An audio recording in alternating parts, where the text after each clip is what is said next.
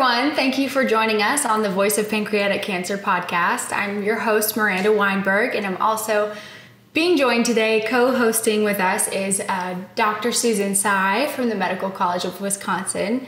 If you tune in often, you will recognize her, of course. She's been with us quite uh, a few episodes, so super excited to have her back today. And as well, we have a new guest. We have Dr. Mandana Kamgar, and she is an assistant professor at the Medical College of Wisconsin and also a pancreatic oncolog- oncologist. So, welcome, Dr. Kamgar. Thank you very much. Thanks for having me. And Dr. Tsai, good to have you on as well. Thanks for having me back, Miranda. It's always a pleasure. And Dr. Tsai, would you like to uh, jump right in to kind of give an overview of what we're going to be talking about today? Yeah, I'd love to. So, you know, Dr. Kamgar and I were talking about um, some hot topics in pancreas cancer right now.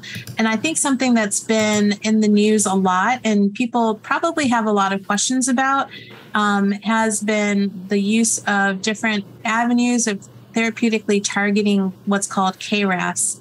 Um, and so we thought we'd do kind of an ABCs of KRAS and kind of break down what KRAS does, what it means, how it's important to pancreas cancer, and how recently new developments have been um, used to, to target this uh, this particular gene.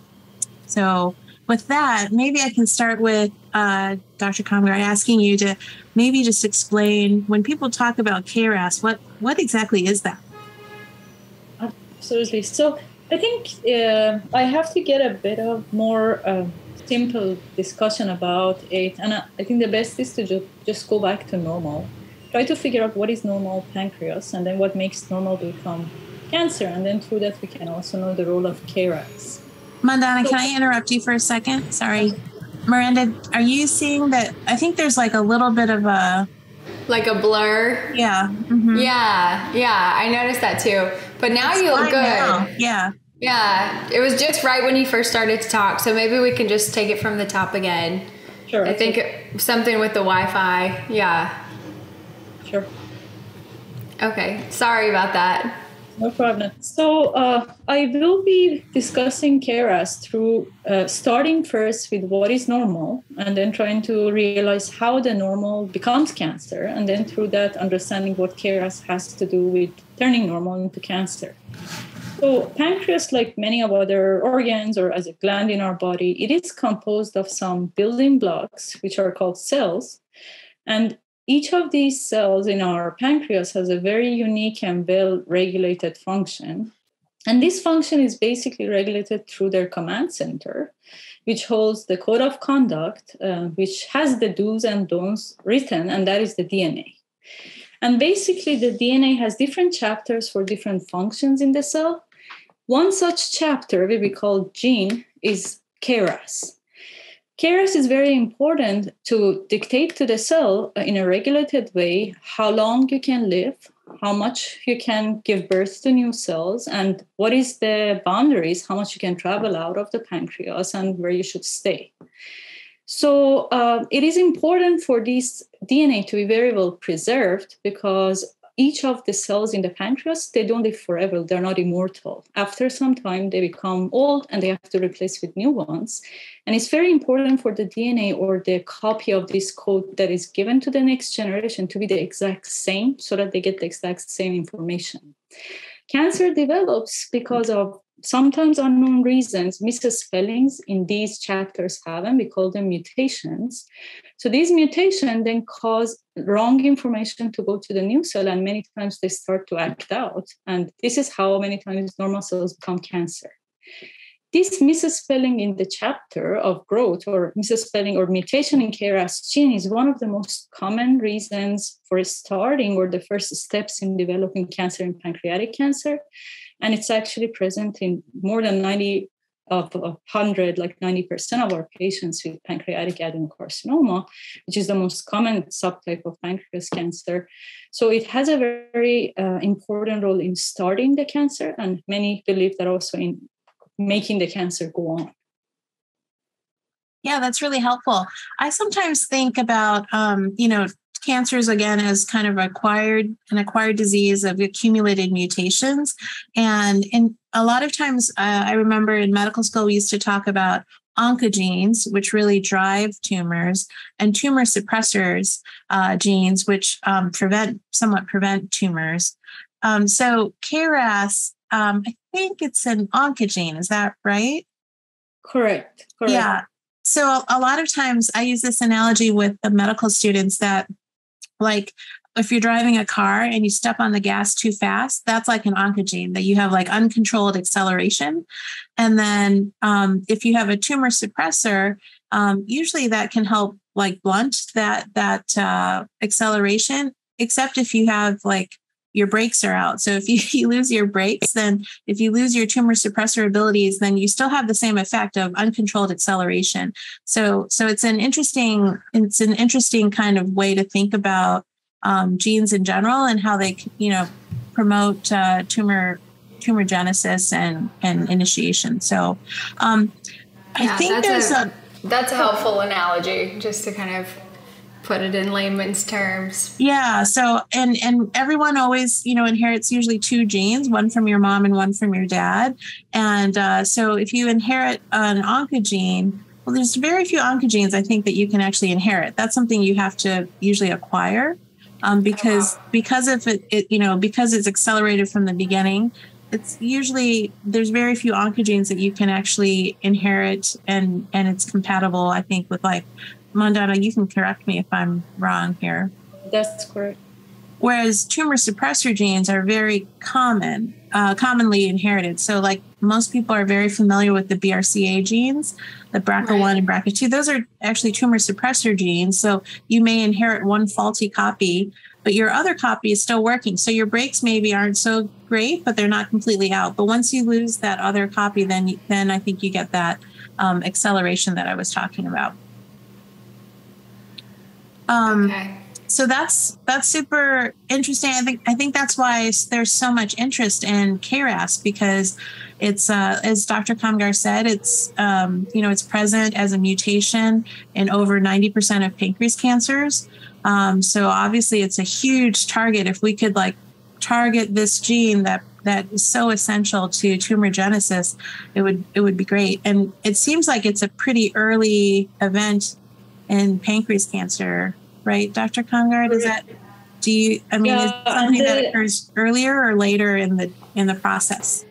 It is among the, at least in the most common, like the one that, you know, not necessarily in the inherited uh, version of it, but at least in the one that does errors one after each other happen in the gene and then predisposes us uh, or uh, the patients to the cancer. The KRAS is among the very early on uh, mutations.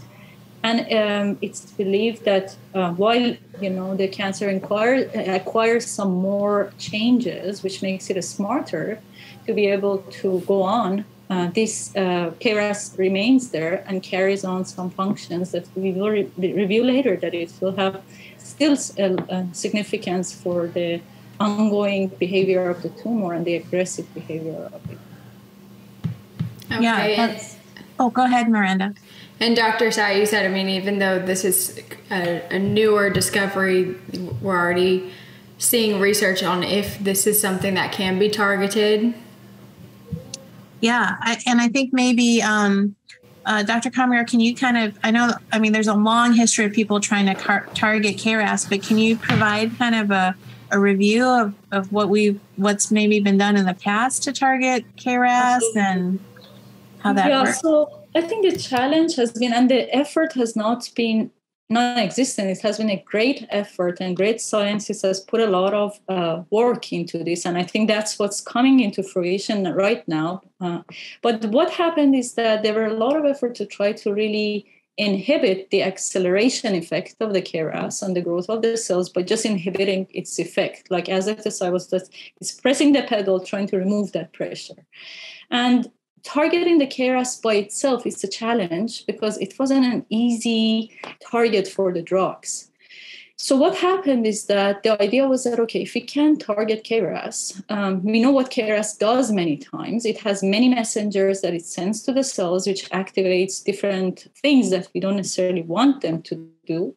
And then what about not targeting it directly, but trying to inhibit these messengers from doing what they are doing in making the cells go on and become more cancerous and more aggressive? And that has been like what we call targeting the pathways downstream of KRAS, meaning that basically targeting these messages and preventing them from sending the message down. The challenge is with that is that there's not just one messenger. You know, there is so many different messengers that it sends, and if you want to try to basically inhibit one of them or prevent them from going through, the others will continue, and many functions will continue to go on, and they might even pick up the last function of that one by just working a bit harder. And then they tried to say, okay, so we try to see which are the most important one, and we try to target all of them together. And many of these are very crucial for the normal cells to go on as well. So these, uh, in the patients, it became very toxic. So the great and I think exciting news is that now there have been developments in actually being able to target the KRAS directly, which is great because it's far above before sending these messengers. So if you can target it, you basically block all of these messengers down of it. And I think that is the very exciting time for us. It's um, one drug or I would say two drugs right now are FDA approved for a certain subset of KRAS mutation because there are many different misspellings that can happen in different areas of this gene and they have different names of themselves. Um, the most common of them in pancreas is the area called KRAS G12, and then there are different mutations. The drugs that we have are G12C inhibitors. Unfortunately, this is very uncommon in pancreas cancer. It's like less than 1%. So now there is a significant number of different drugs coming. Some of them are all KRASs are inhibited, but some of them are directed against certain types of KRASs.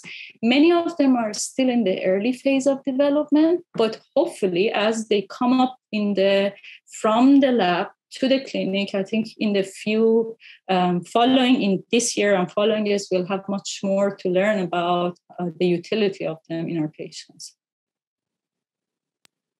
Yeah, and so awesome. I think that's like it's really helpful to just maybe uh, recap that. I think like um, the body is like so amazing at having redundancy. So um, th- there's always been. I remember people saying that you know KRAS in the past has thought to be as a as a you know as a target undruggable, and one of the reasons is this protein is it's either on or it's off but it pre- preferentially once it's on it actually kind of stays on. It's hard to turn it off.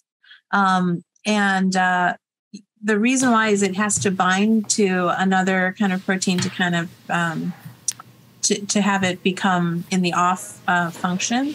And the binding to that protein is so so strong that there's nothing else that can really outcompete it. It's like so tightly bound that it really prefers to stay in the on position i think um, and so and so as Dr. Kamgar was saying, we you know the easier thing is just to target everything downstream from KRAS and try and hit everything else, but it's so complicated to do that. So so Mandana, you had uh, Dr. Kamgar, you had mentioned a little bit about the different kinds of KRAS. So um, maybe if you could expand on that a little bit more, like um, how would someone know what kind of KRAS mutation they have? Like if if I had a tumor, how would I how how do people know what kind of KRAS mutation they have? Yeah, is there a certain testing that they do for it? And like it, you said it happens pretty early on usually. Yeah, I think this is a great question. So there, the real way to do it is to be able to basically, in a simple way, read through the chapters and see what Mrs. misspelling has happened. In this case, is to basically do a profiling, what we call of the of the DNA. And it's done right now by two different ways. One of them is that when we do biopsy the tumor, when we get the tissue, uh, when we have the cancer, we send that cancer to a lab or to uh, so that they do a better analysis of the DNA, and then they go and focus on KRAS, and then not only KRAS, they give us information about many mutations, but for the KRAS, they can let us know what exact type of KRAS mutation is there. And then um, the other way is that maybe not as strong. Uh, it's helpful if you find it. It can be a bit tricky if you don't find it. Is to just try to look at DNA in the blood and see if we can find DNA of cancer in the blood, and then try to use that to see what what form of cancer mutations are there, what type of KRAS is there. The differences is that with the biopsy, we have more cancer. It's a bit more precise. And the challenge is that we have to do it like, you know, it's an aggressive thing. So, and it's not necessarily an easy thing to do serially many times. So now a lot of times, if we can get the biopsy by just collecting a blood and doing the DNA, the good thing about it is that then we can also monitor it over time, see how the tumor is evolving, see how the load of the cancer is, how much is it shedding the DNA, how much it's getting smaller, larger. So I think that is a newer way of just looking at the DNA just by what we call liquid biopsy. And that you, that's relatively new, being able to find it through like a blood, like a simple blood draw as opposed to looking for the um, the cancer uh, it's earlier and i mean it's the challenge is that you're really trying to detect the dna of cancer between so many normal dna of other blood cells meaning that the test that you use is to be a very strong test to find that small amount of dna in between so, so much of normal dna so it was a bit difficult to really have a test that is such a strong test that find that small and then to be able to really go in depth about what is happening in that DNA.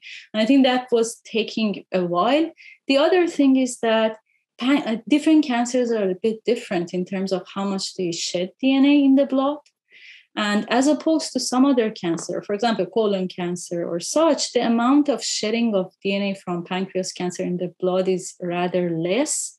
So many times in the very early stages, we might not be able to find it. It's not that it's probably the cancer is not there, it's just that it's very low amount of DNA that we don't find it. But as the cancer gets larger and it spreads, that's the time that we potentially can find the DNA in the blood and do this test. So, and then if it's done through biopsy, is that something that's um, standard, like that's always looked for through biopsy, or is that something that is specifically requested? It is uh, right now. I think there are two things that are standard. One of them is the genetic test, meaning that trying to figure out if a patient's cancer happened in the context of an inherited mutation. The other is this what we call genomic profiling, and that is just basically trying to send the tumor to be tested so that you know what is specific about this patient's tumor, and can be focus on that and find treatments that are just beyond chemotherapy you know things that would be or if chemotherapy things that are directed a bit more on the strengths or vulnerabilities of the tumor. So this is a standard part and then even many times these times we do a baseline and then sometimes over time we might have to either repeat the biopsy to see what has happened or just do multiple liquid biopsies just to see what's going on and why is the tumor behavior changing over time Miranda, that's a great question. I just want to reiterate that for anyone who's listening. So, the germline, as Dr. Kamgar said, germline testing for mutations um, is universally recommended for pa- any stage of pancreas cancer. And then for tumor specific testing, like the biopsy or surgical specimen, you know, I think that might be site dependent. And at, at our institution, we do it on everyone. Um, but not every institution may take that slant, but um, but you know there's some advantages in in doing tumor testing, and either longitudinally, as Dr. Kamgar mentioned, if there's um, you know you have initial biopsy and then maybe you get another biopsy later, if there's some change uh, in the CT scan or anything else, then it may be informative of a new genetic change that's occurred.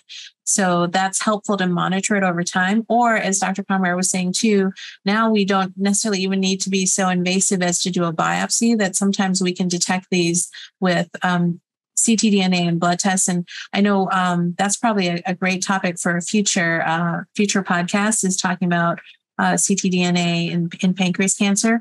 I think um, just to reiterate too, it's it's um, challenging sometimes to find ctDNA in early stage pancreas cancer.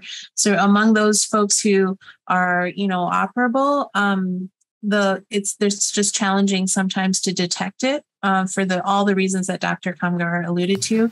But in the metastatic setting, that it doesn't shed into exactly. the bloodstream. Okay.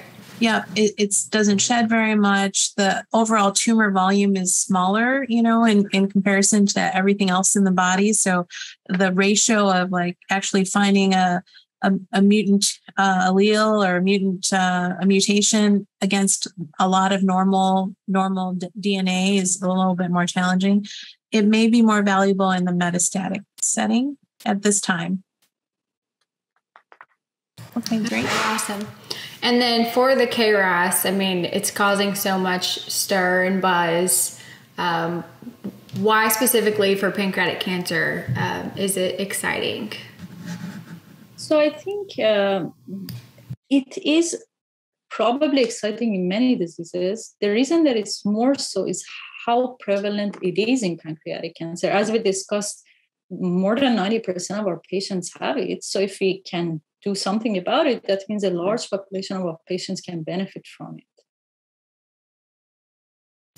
And do you foresee that that it's going to be there is going to be an option to um, to use this in the near future? I believe so. And again, it's yet to be determined. Oh, just let me go back to the what you asked about whether we do the DNA analysis. I think doing it so far, we were actually trying to find those people who don't have KRAS because those are the ones that sometimes they have different drivers of the tumor that we can actually already have drugs for them. So, so far we couldn't target KRAS. So it was like, okay, it's there, but so what, you know? Now, if we have target uh, targeting abilities, then it's important because we find something that potentially at least as of now, our patient might be able to go on clinical trials with these new drugs to see whether they can control their tumors. And hopefully, in future, if these drugs are found to be beneficial, these might be options beyond chemotherapy. So I think that in that situation, even knowing presence of KRAS and knowing the type of the KRAS, it's going to be even more and more important in future.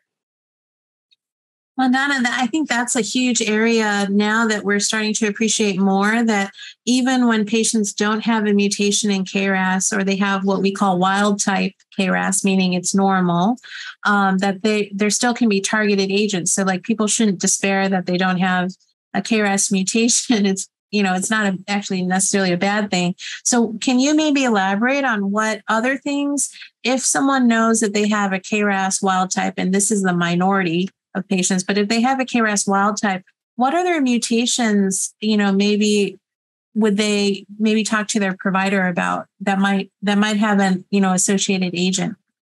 Absolutely. So I think one uh, practical aspect for our providers, probably um, looking at this podcast, is sometimes if it's difficult to get a tumor or if you want in a timely manner to figure out how much pressure you want to put at this day and age that we don't have any KRAS targeted therapy to put on doing the biopsy.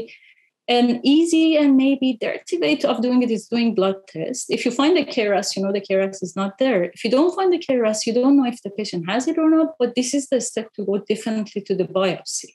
Because if your patient truly does not have the KRAS mutation, which is wild type, that is the percentage that means that the tumor was initiated from a different pathway, not the KRAS and then many other tumor suppressors.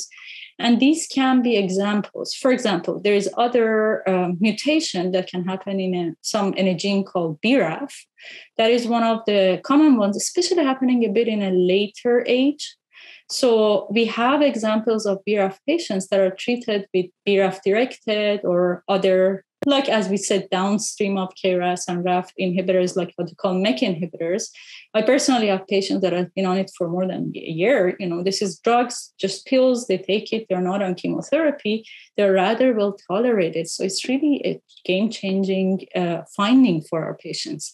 Others are many times what we call fusions, meaning that an oncogene or a gene that promotes cancer is connected to another regulator of genes that turns the genes on and off. So an on making the gene always on gets connected to something that promotes cancer. So a cancer promoting gene is on all the time.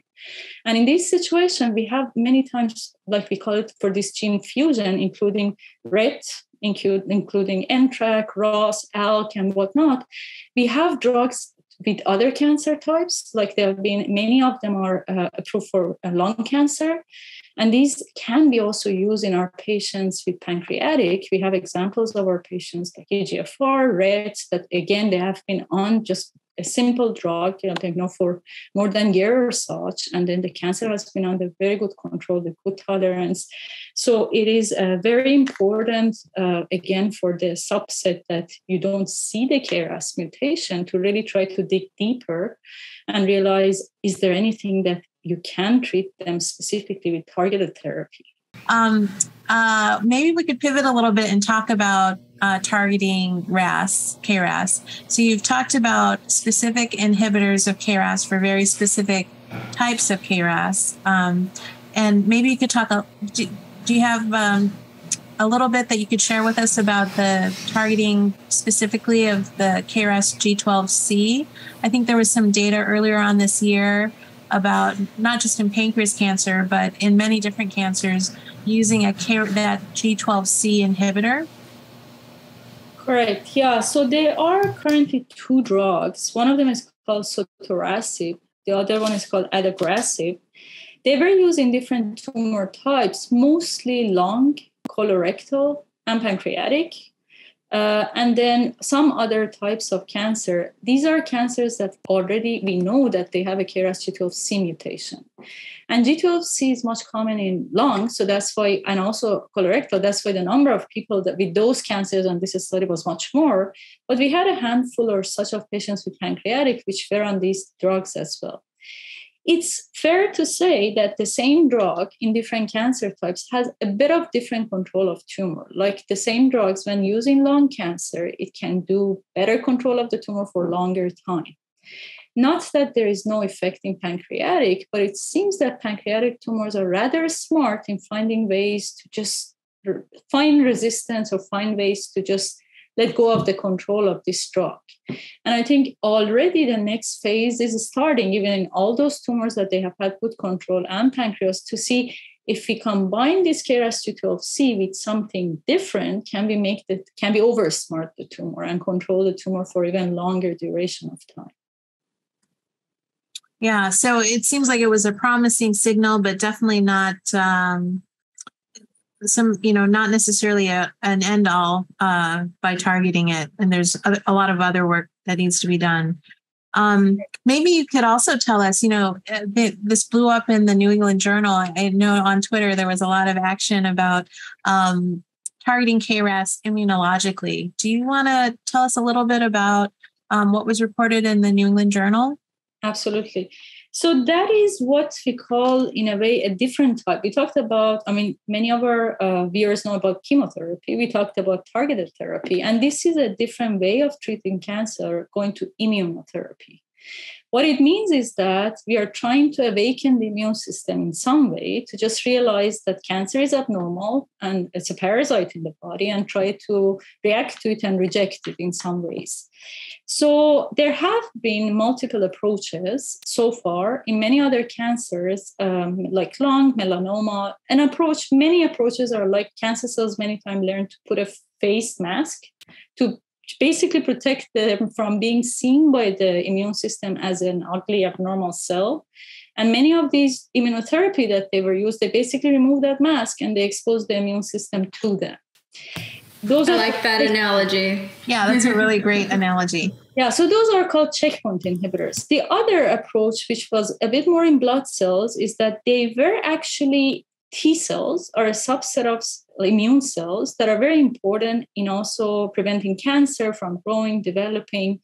So, what they were using, they were engineering to see the T cells in a way that they are much more stronger, basically, in a way that they see through the mask and they see what is happening on the surface of the cell and then trying to get rid of that.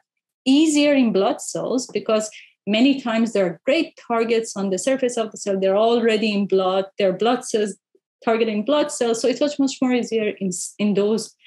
These approaches both are used in pancreatic, but they were rather disappointing.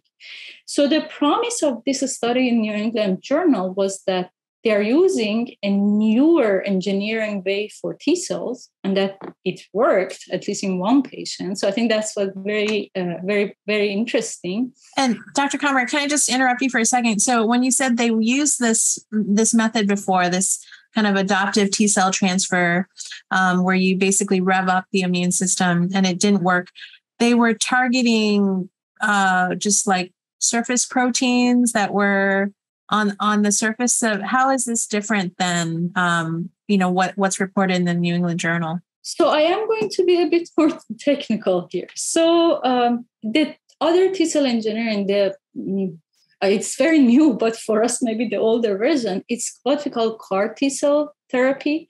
The chimeric antigens that basically they try to engineer the T cells in a way that they have something on their surface, they find something on the surface of a tumor, they connect, and then they try to get rid of those cells.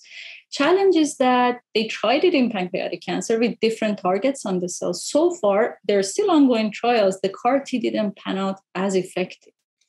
Then the same team that has this study and others, they have been trying to see, okay, if we can do CAR T, what if if we look in like take the tumor out, take the T cells out of the tumor, and then take the tumor out and expose the T cells to the tumor and then see which T cells are reacting to which antigen or which neoantigen, like a new thing that is different in the tumor and not existent in the normal cells and then see if we can then take this T cell out, engineer it so we have so many T cells like that, and then make them stronger and put them in a batch and give it back to the patient and see whether now with a stronger army of T cells that we saw that they were already out of the body reacting to the tumor, maybe we can then make a response to the tumor.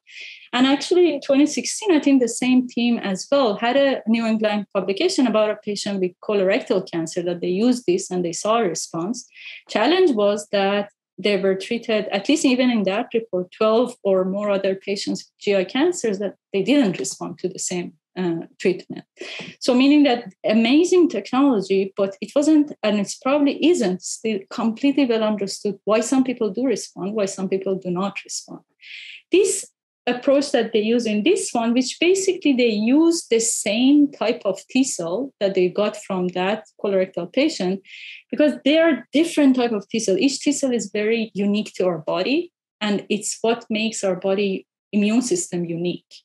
They have uh, ways of figuring out, they call HLA. So there are different HLAs on the T cells that define your HLA might be different than mine, mine might be different than my family member. So it's very unique. That's very important. Like that's if you see the compatible T cell or not. So T cells have to be compatible to put it back in your body because otherwise your body would reject it. Yeah, Mandana, I think for the people who are listening, maybe the easiest way to understand it, this is actually an extrapolation to transplant. Like yes. when people get transplanted, you can't just get a transplanted heart or liver or kidney from anyone. You have to be what's called HLA matched so that right. your blood types are matched and among right. other things. So that's that's maybe a, a more common way to think about HLA Absolutely. So I think but that's with easy. Sorry, sorry, just a quick questions. But with this, it's yeah, you're using the patient's own T cells, correct? Yes. So that's why it's compatible because in the T cell infiltrating, you get the same patient's tumor, you have this a bit engineering and put it back. In this one also, they use patient T cells, but they try to engineer them in a way that they they they had the same HLA as the other colorectal patient, and they had the same KRAS mutation, KRAS G12D, as the other patient. But they tried to engineer them to act as the T cells of that other patient, meaning that they put a virus that presented something that presented a, a, a, a different T cell receptor connected to an antigen that would make this T cell act like the T cell of that patient with colorectal cancer. It's still there are T cells of the same patient, but they engineered them differently. And then they put them in the body. The uniqueness of this approach, like T cells engineered in this way, is that they can find target inside the cell, meaning that they just don't look at the surface of the cell. They can find molecules like KRAS, which are hidden inside the cell. So they can go find that and then they start to react to them. That's the good part. The bad part is that these are very unique. As we said, it has to be a compatible HLA, it has to be a certain type of KRAS. So if you look at what they did with the New England, it's like 40% of patients have KRAS G12D, maybe 10% of patients might have that HLA. So together, less than 4% of patients might have uh, an opportunity to get it. And even that, they did nearly the same thing on two different patients with the same HLA, same KRAS. One of them responded, the other one didn't respond. meaning that the, it's amazing that the technology is now available, but it's much more to be learned to realize who does respond, who doesn't. And great news is that many other teams are working on expanding this access to this molecule, more HLAs, more KRASs, and then different ways of engineering them. So I think this will be hopefully one other area that will be a lot of uh, developments for newer ways of immunotherapy in pancreas cancer. So, in other words, seeing a lot of promise, but definitely not there yet as far as being able to implement any. Right. I yeah. want to go back to one other immunotherapy possibility, and that is targeting KRAS if we have the targeted therapy. KRAS is, we know that it's important in making the immune system not recognize the tumor. So if you use a KRAS inhibitor, and that was also alluded to in one of the presentation in, in our um, meetings that if you can use KRAS inhibitor and inhibit the KRAS, while the response might not be durable by itself, but you have a window that the immune system is stronger now, that it can maybe fight against the tumor better. So this is a window that you might be able to use even our already available um, immunotherapies, combining with this and see whether now you can awaken the immune system and this way get a hopefully much more durable response. So I think that will probably be another area that hopefully we will see growth of immunotherapy, combination of targeted therapy against KRAS and different types of immunotherapy. Yeah, that's been that's a great. I mean, I think the potential for combinational therapies, whether it be immunotherapy or other targeted agents, um, you know, I think is really exciting.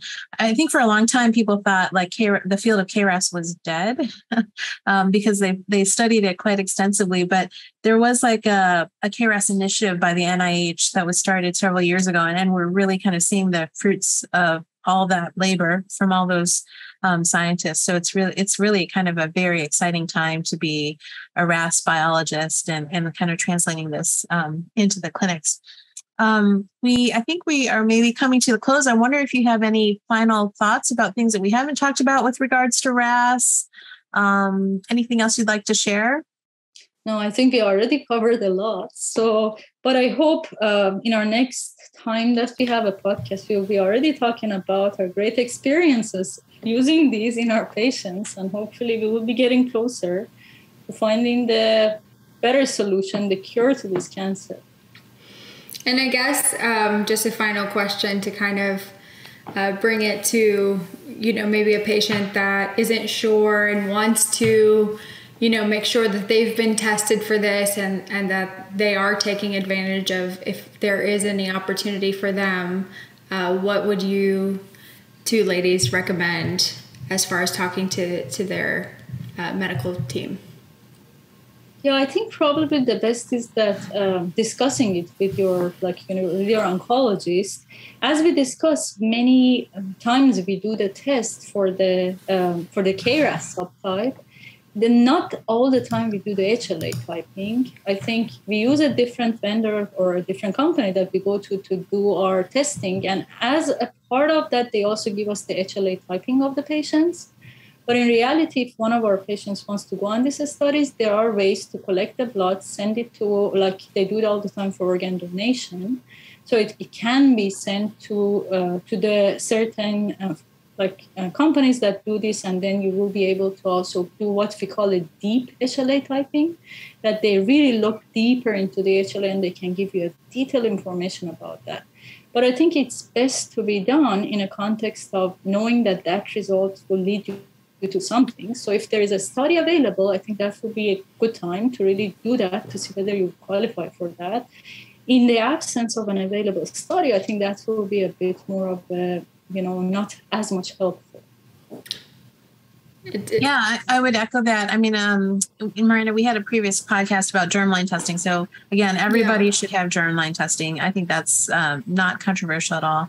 And uh, you know, here we think everyone should get somatic testing, and it's usually done commercially. And so the the thing for maybe everyone to have a conversation with their physician about is, you know, uh, different vendors who do the testing in the in general I don't think there's a lot of difference between a lot of different vendors. So they don't have to really worry about, will the KRAS testing be right or wrong, depending on the vendor.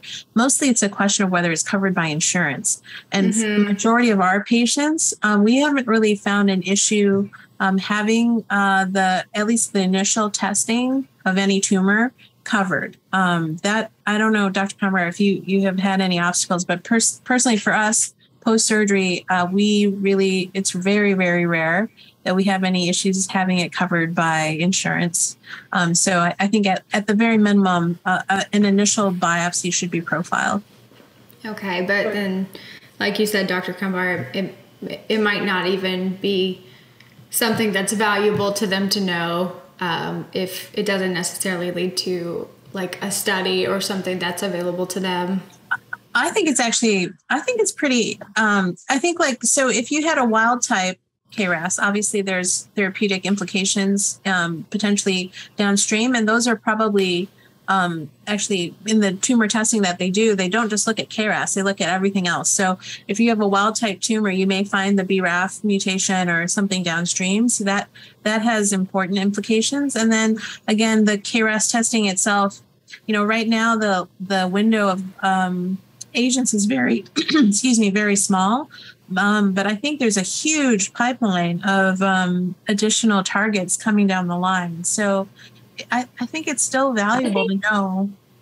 The somatic testing, the genomic profiling, mm-hmm. I think absolutely valuable in everybody. HLA typing was the one that I was saying that it's probably better done in a setting that we have more treatments. But I think as the time goes, I wouldn't be surprised that the same company that does the evaluation of the patient tumor, they normally have enough normal or whatnot to just also evaluate the HLA typing as well. So hopefully that will become a standard part of the same thing so that hopefully we don't have to do separate things. Uh, but again, if needed, there are already available tests that that HLA testing can be done.